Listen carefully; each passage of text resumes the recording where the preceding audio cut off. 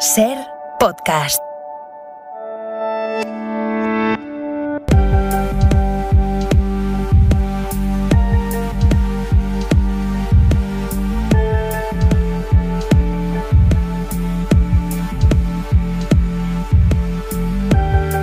Cerca de 160 millones de personas de Toulouse hasta el momento y más de 3.300.000 han muerto. Son los datos de la Universidad John Hopkins sobre esta pandemia mundial que vivimos desde hace más de un año y que según un informe encargado por la OMS a expertos independientes se pudo haber evitado. Esta es la primera gran auditoría que se hace a la gestión de la pandemia y a lo largo de más de 100 páginas señala todos los errores que se han cometido, muchos de ellos antes incluso de que existiera el COVID-19 como tal. Rafa Panadero, buenas noches. ¿Qué tal? Buenas noches.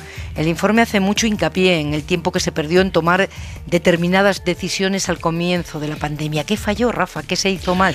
Pues lo primero que señala ese informe es que se veía venir, que había muchas advertencias sobre una posible pandemia por un virus respiratorio, pero según ha destacado Lynn Johnson, copresidenta de este panel de expertos y expresidenta de Liberia, There are reviews of previous health disasters that have gathered dust esos informes han estado acumulando polvo en los sótanos de Naciones Unidas y de los principales gobiernos del mundo, así que el mundo ya estaba advertido de que esto podía pasar, pero no escuchó. Segundo fallo a destacar, la lentitud. La ciencia sí respondió rápido, pero el sistema de alerta no fue al mismo ritmo. Desde que China confirma el contagio entre personas hasta que la OMS declara la emergencia pasan 10 días, demasiado tiempo. Y cuando por fin lo hace, 30 de enero, la mayoría de países no responde adecuadamente. February was a wasted month. Y eso hace que febrero se convierta en un mes perdido, porque a pesar de los avisos muchos creyeron que esto no les iba a afectar y prefirieron esperar a ver qué pasaba. Como consecuencia de eso no se cortaron los viajes para evitar la propagación, que es otro de los grandes errores que se identifican, y cuando se quiso reaccionar resultó que en muchos casos no había capacidad para enfrentar al virus. Esto se notó, por ejemplo, dicen en la falta de EPIs, que solo estaban disponibles en países que habían pasado el SARS en 2003, países como Corea, Japón o Taiwán. Un último fallo a subrayar, Pepa, la falta de liderazgo y coordinación Dice el informe que hasta que los contagios no estaban ya disparados, aquí nadie tomó decisiones contundentes. Pues con todo esto encima de la mesa, con estos fallos detectados, los expertos establecen una serie de recomendaciones, tanto para frenar esta pandemia cuanto antes, como para evitar o al menos minimizar lo que pueda venir en el futuro, ¿no? Sí, para lo primero, para frenar esta, hay dos mensajes muy claros. Los países ricos deben repartir vacunas con los otros. Se da en concreto la cifra de al menos mil millones de dosis para los 92 países más pobres antes del 1 de septiembre.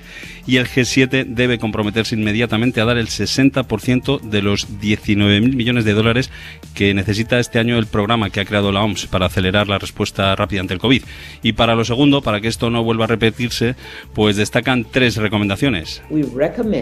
A creation of a global health La primera es la creación de un Consejo Mundial ante amenazas de salud a nivel de jefes de gobierno que complemente a la OMS, pero no la sustituya, porque la OMS debe seguir. Y además, segunda recomendación, la OMS tiene que salir reforzada y con más financiación. Hay que subir la contribución de los Estados miembros. Tercera recomendación, también sobre financiación, hay que crear un mecanismo internacional que pueda movilizar entre 5.000 y 10.000 millones de dólares para garantizar una respuesta rápida ante estas alertas a nivel mundial. Por último, para que todo esto no quede en una declaración declaración de intenciones, el grupo de expertos pide a los jefes de Estado una cumbre mundial en la que se adopte una declaración política bajo amparo de la ONU para que, bueno, el compromiso con estas reformas sea firme. Veremos. Rafa, gracias. Buenas noches. Buenas noches. Daniel López Acuña, epidemiólogo, exdirectivo de la OMS. Conoce bien esa casa por dentro. Muy buenas noches. Buenas noches, Pepa. ¿Qué tal? Daniel, esta catástrofe se podía haber evitado. Es un titular durísimo. ¿Cómo es posible que se demorara tanto la toma de algunas decisiones que eran esenciales?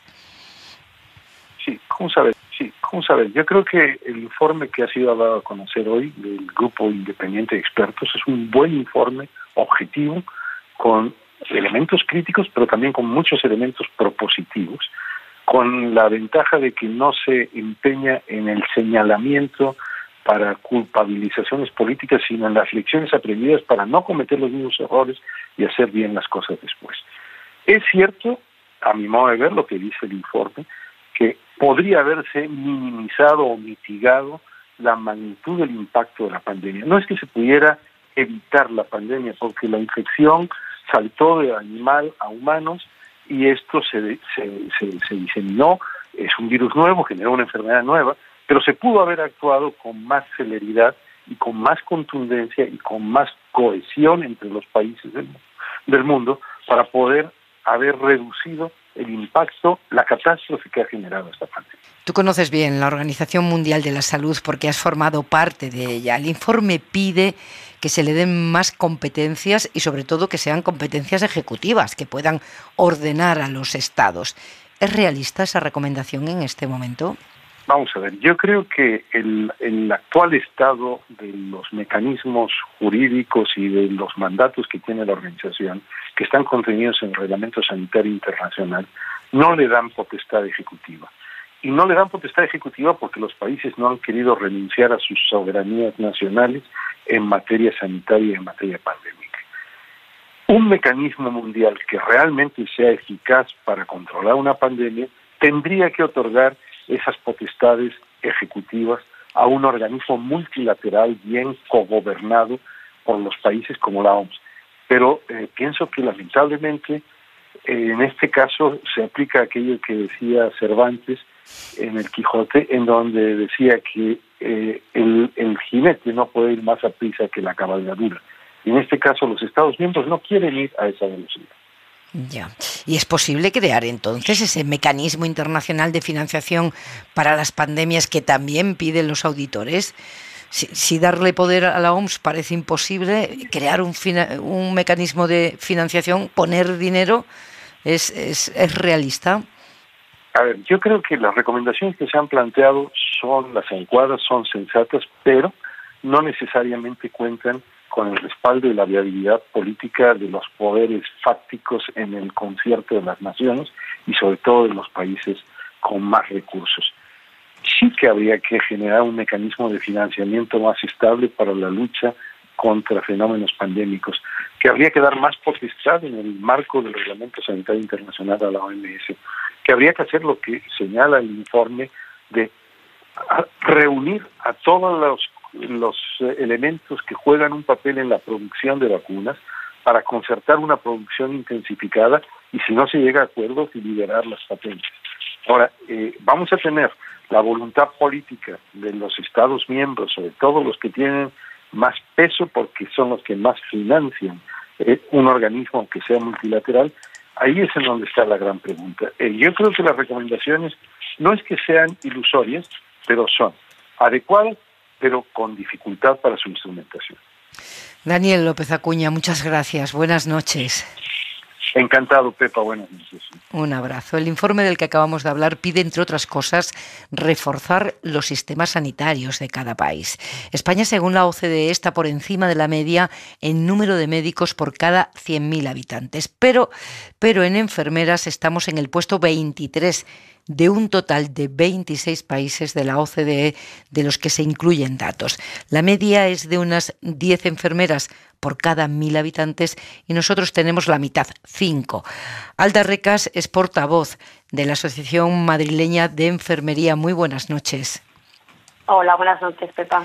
Alda, ¿a qué se deben estas cifras tan bajas en comparación con otros países de nuestro entorno? Bueno, se debe a que durante muchos años las políticas de recursos humanos que han llevado a cabo muchas, muchas comunidades autónomas han sido inadecuadas. No han sabido ver, en el caso de la enfermería, la evidencia. La evidencia es clarísima. Los estudios dicen menos enfermeras, más muertes y más años de vida perdidos.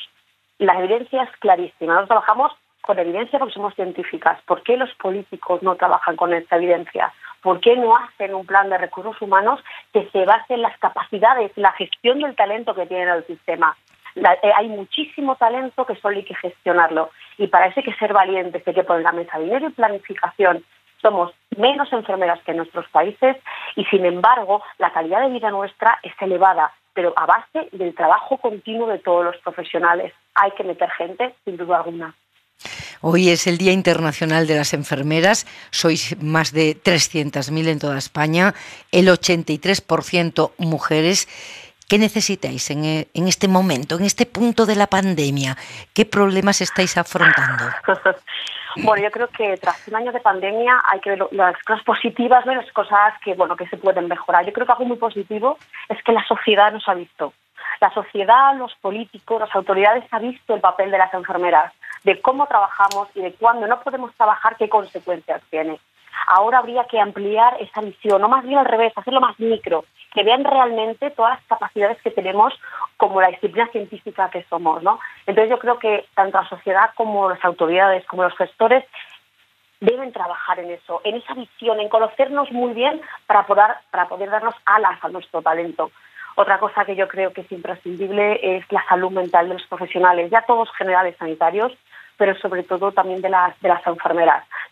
Hicimos una encuesta en julio y ya el 94% de las enfermeras sentían que estaban muy preocupadas por su bienestar. Si hiciéramos de nuevo ahora esta, esta entrevista, esa encuesta, yo creo que los datos serían atroces. Todavía estamos trabajando con la adrenalina a tope, porque, por ejemplo, en comunidades como Madrid, nosotros todavía estamos en las crestas de las olas. ¿Qué pasará cuando frenemos un poco? Nos vendremos abajo. Y cuando las enfermeras se vengan abajo, ¿quién nos va a cuidar? Y por último, lo que nosotros sí que hemos visto este año, igual que nos han visto en los medios de comunicación, los ciudadanos nos han visto hablando de, nuestro trabajo, a quien no hemos visto ha sido a nuestros representantes, de país eso nos ha dolido mucho. Hemos salido en prensa porque nuestro Consejo General de Enfermería, que estamos obligadas a pagar, se ha gastado 300 millones de euros en no sé qué, palcos en el, en el, en el Bernabéu, cenas, viajes a Vietnam, y eso nos ha dolido muchísimo a las enfermeras. Esa no es la visión que queremos dar nosotras por lo tanto, ha sido un año muy duro, es un año que hay que reconstruir poco a poco y como tú dices, como no cuidemos a, los profesionales como a las enfermeras, que encima somos pocas, la salud de la población se va a ver mermada sin duda alguna. Sin ninguna duda, Alda Recas, felicidades en este día. Gracias por, por vuestro trabajo. Un abrazo. Muchas gracias a vosotros por darnos visibilidad. Un saludo, Pepa. Las enfermeras son el pilar fundamental de la campaña de vacunación, esa que, que, es tan fundamental para salir de este agujero. Ellas son las que nos están vacunando y sobre eso vamos a hablar ahora.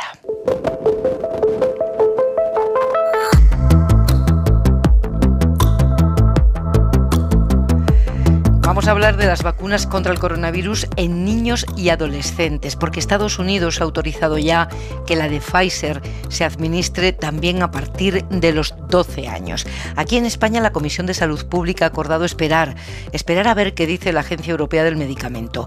Y al margen de lo que ocurra con la de Pfizer, hay diferentes hospitales españoles que están organizando ya ensayos clínicos para probar la eficacia que tienen otras vacunas en niños y adolescentes. Es el caso del Hospital San Joan de Deu de Barcelona. Juanjo García es su jefe de pediatría. Muy buenas noches. Hola, buenas noches. El ensayo clínico que ustedes van a iniciar próximamente será con la vacuna de Janssen y la convocatoria para conseguir voluntarios ha sido un éxito porque ya tienen todas las plazas cubiertas, ¿verdad? Bueno, efectivamente es uno de los ensayos clínicos que tenemos en marcha nosotros y, también cabe decir que, que, otros hospitales del Sistema Nacional de Salud ah, pues eh, participaremos en, en, este estudio cuando, cuando dé su inicio de la vacuna de Janssen y también de otras vacunas que, que también próximamente se iniciarán ensayos clínicos en España. Son niños entre 5 y 17 años. Eh, ¿Son sus padres quienes toman la decisión porque son menores en todos los casos? Bien, sí, eh, en general en los ensayos clínicos lo que ocurre es esto, son los padres los que eh, voluntariamente eh, pues acceden a que sus hijos participen en los estudios. Eso sí, los, todos aquellos adolescentes mayores de 12 años tienen que prestar además su asentimiento, que se dice, es decir, los padres consienten, pero los adolescentes tienen que, que, que asentir también que eh, efectivamente están dispuestos a entrar en, los, ensayos clínicos. Cuando se encuentran con que necesitan una veintena de voluntarios y se presentan muchos más, ¿cómo se elige a los que finalmente participan en el ensayo? ¿Qué criterios tienen en cuenta? Bueno, verdaderamente la, la, colaboración de la población en todos estos casos es, ha, sido masiva. Con, con, la COVID nos lo estamos encontrando y verdaderamente todo el mundo ah, quiere participar. Eh, claro, nosotros lo que hacemos en, en, estos casos es, eh, es mirar ah, si se cumplen unos criterios de inclusión, que, que, los protocolos lo marcan claramente. Miramos que no se cumpla ninguno de los criterios de exclusión tampoco, que esto también es algo que, que, queda registrado y entonces eh, aquellos niños y adolescentes que pensamos que, que, es, que, es, mejor que entren en el estudio, pues entonces contactamos con ellos y se lo decimos.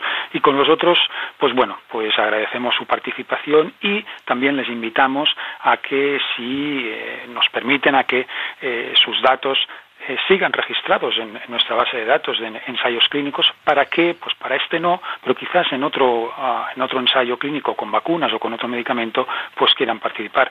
Y la verdad es que la mayor parte de los padres también están muy de acuerdo con, con esta actitud.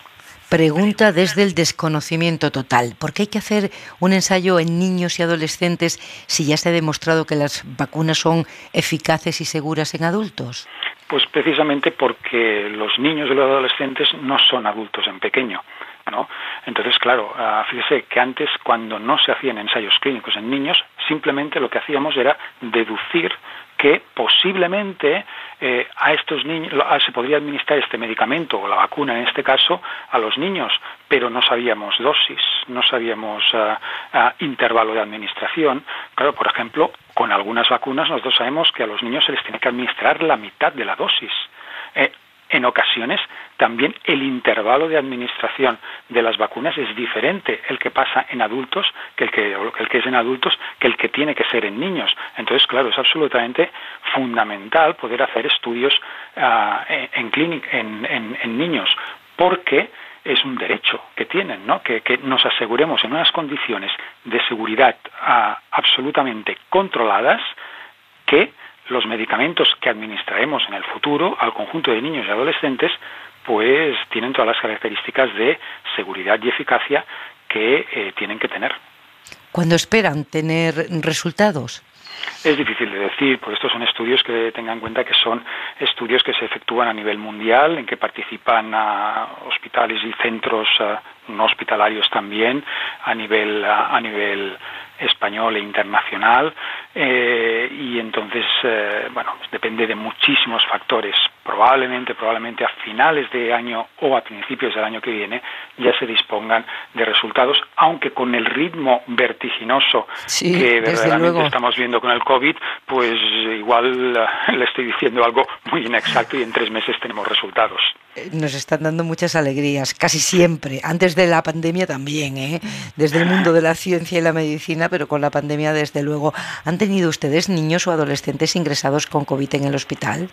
Hemos tenido muy pocos, verdaderamente, para todo el volumen que es lo que ocurre en adultos, hemos tenido pocos niños. Hemos tenido algunos, ciertamente, hemos tenido algunos que han tenido malas evoluciones, sobre todo niños con alguna enfermedad crónica ah, muy concreta, ah, pero en general ni siquiera en los niños con enfermedades crónicas estamos teniendo las evoluciones, evoluciones tan malas como podríamos esperar. Y de hecho tenemos muchas veces evoluciones peores con virus estacionales normales, como puede ser el virus de la gripe, que con el COVID. Verdaderamente el COVID actualmente, al menos en niños, se comporta de forma muy banal, afortunadamente para todos.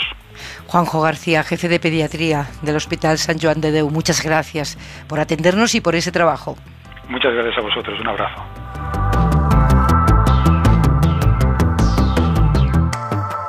Miguel Ángel Aguilar. La columna de las nueve. Miguel Ángel Aguilar. Insolencia sin réplica. Eran las nueve de la mañana se abría la sesión de control al gobierno en el Pleno del Congreso de los Diputados, un uso parlamentario instaurado durante el primer periodo de Felipe González sin necesidad de que se tradujera en ley alguna, como tampoco la necesitó el debate del Estado de la Nación. Esta mañana hubiera parecido una magnífica ocasión para que los líderes de los partidos, concluidos los excesos a que inducen las campañas electorales, hubieran procedido a un elemental ejercicio de reconocimiento de realidades del tamaño de la victoria electoral de Isabel Díaz Ayuso en las elecciones autonómicas de Madrid, que ha sumado más escaños que los ganados por las tres izquierdas y ha mostrado la debilidad de un PSOE que puntúa por debajo de Más Madrid. Pero las palabras iniciales del primer preguntante, Pablo Casado, seguían la línea de Aznar con su lema de váyase señor González, transmutado en váyase señor Sánchez.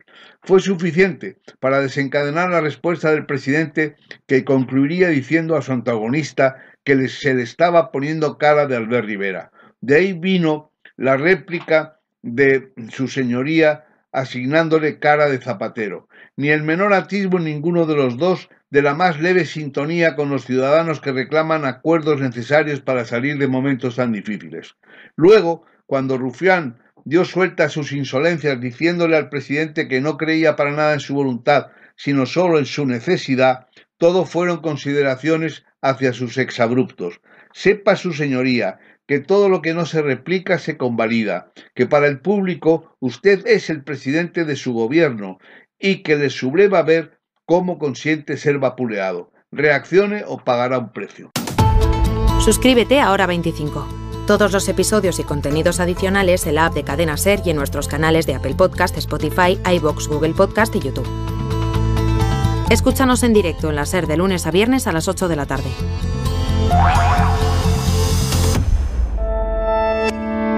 Cadena Ser. La radio.